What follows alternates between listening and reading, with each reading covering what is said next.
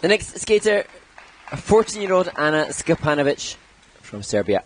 Yeah, first Junior Grand Prix season, 35th after the short program, and great experience gaining here at the Junior Grand Prix week number two here in Gdansk.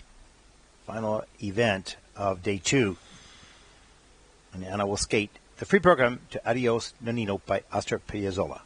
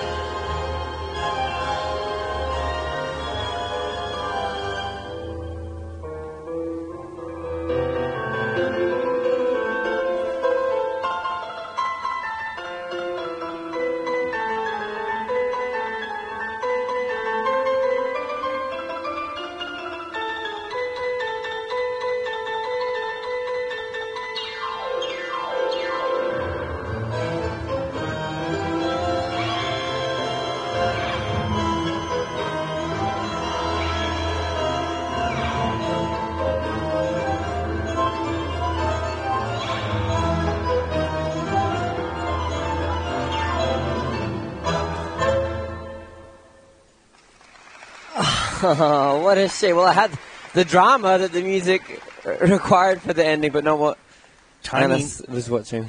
Yeah, shoulder shoulder shrug. How well can you do? It's true, just unexpected right at the last moment. The music.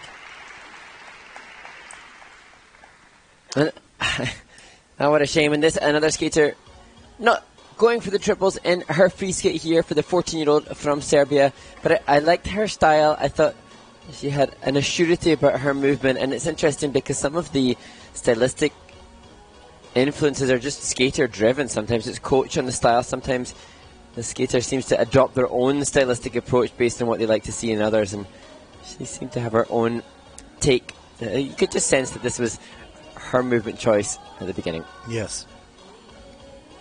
And Carrie, nice flow across the ice. Here's the double axel at the top of the program. Lots of arm movement, a little less on pushing out of that jumping leg, but stood up on the landing. That was good with an under rotation, double Salchow. So the degree of difficulty less than some of the other women who have skated in front of her.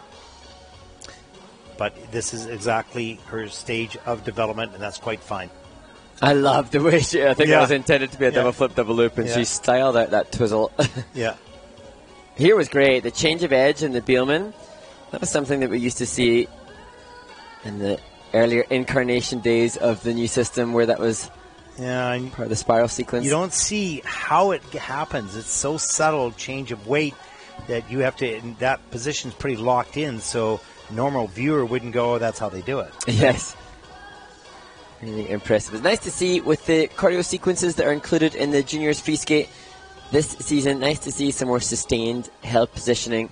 Skaters having to do two recognizable skating moves, and that's why. Oh, what a shame. we see the spirals as Ana performed it. But wonderful. Despite that fall at the end of the program, the Serbian smiles and the kiss and cry.